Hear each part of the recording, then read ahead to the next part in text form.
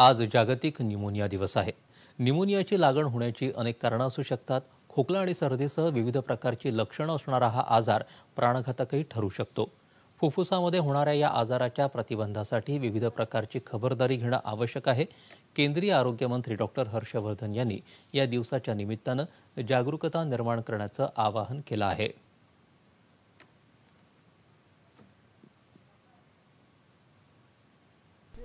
सर्दी खांसी बढ़े और साथ साथ बच्चे की साँसें तेज चलने लगे या फिर पसली चलने लगे तो यह निमोनिया के शुरुआती लक्षण हो सकते हैं।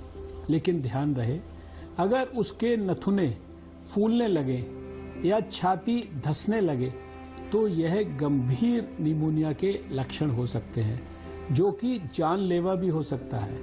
ऐसे में तुरंत बिना देरी किए बच्चों को नजदीकी स्वास्थ्य केंद्र ले जाएँ।